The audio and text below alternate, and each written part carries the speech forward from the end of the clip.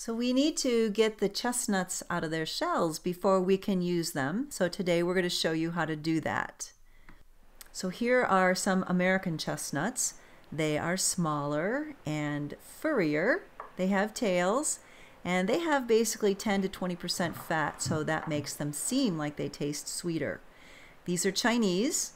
They're larger, they're shinier, they don't have the tail, and essentially they have no fat. So we are going to show you how to get the Chinese chestnuts out of the shell. So make sure that you find the flat side, put the flat side down on your cutting board. That's really important so they don't you don't risk them sliding around.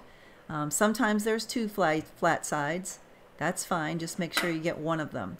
Take a sharp knife, a big heavy knife preferably, and slice straight through it. Don't saw it. Put your other hand on it and put some weight and cut the nut in half. Once you have the nuts cut in half, you're going to have a small pan of water boiling. You're going to put the nuts in there and let them boil for about three minutes.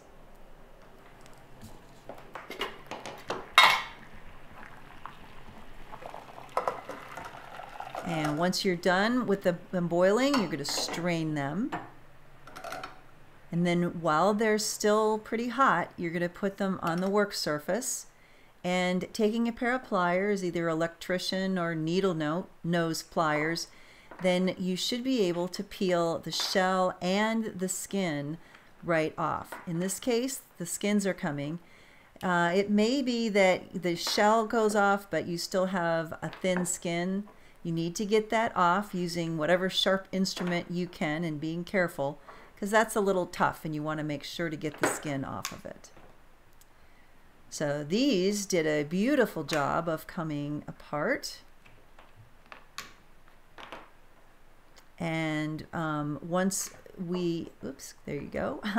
once we have the shells and the skins off, these nuts are then ready to be used in recipes.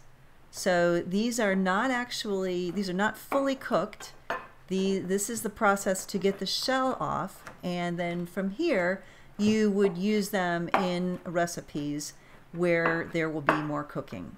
So you can bag these up, seal them, and they will last for a couple of days before you're ready to use them. Or you can put them in the freezer and they will last several months. Enjoy your chestnuts!